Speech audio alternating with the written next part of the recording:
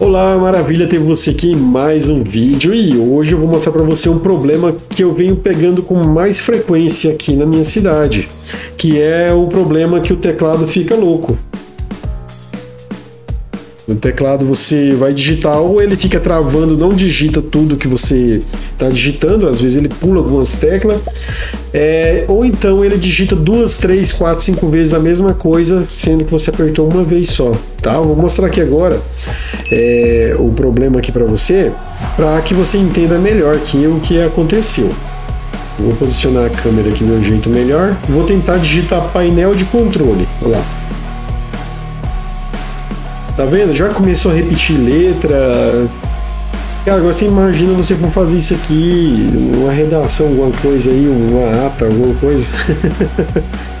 Vai passar o resto da vida fazendo, né? Aí, tá vendo, gente? É, é difícil, cara, é difícil. E tá acontecendo bastante aqui. Aí eu segui alguns tutoriais aí na internet, fiz aterramento, é, mexi nas configuração do teclado, mas nada disso resolveu. Só que eu achei uma lógica em tudo isso, que eu vou mostrar aqui agora para você. Ó, a lógica é essa aí. A fonte que estava nele é essa daí, ó, a fonte que veio no computador. Ela é de 450 watts, mas na verdade ela é 200 watts.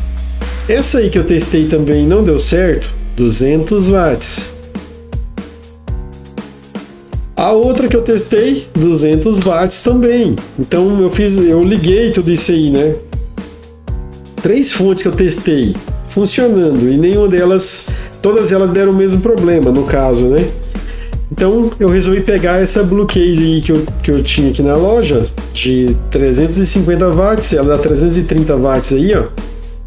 Vamos ligar ela e vamos ver o que, que dá, né?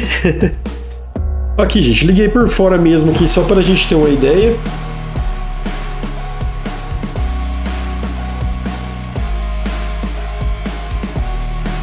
Ah, beleza, ele já iniciou.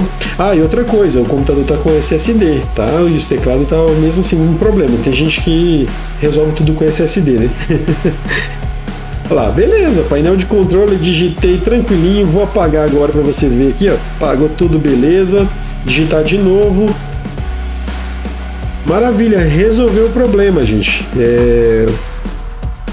Então é isso aí, ó. Esse problema aí que eu, que eu venho pegando, eu percebi que são as fontes que não estão conseguindo rodar o computador, tá conseguindo é, mandar energia né, para tudo que ele está precisando.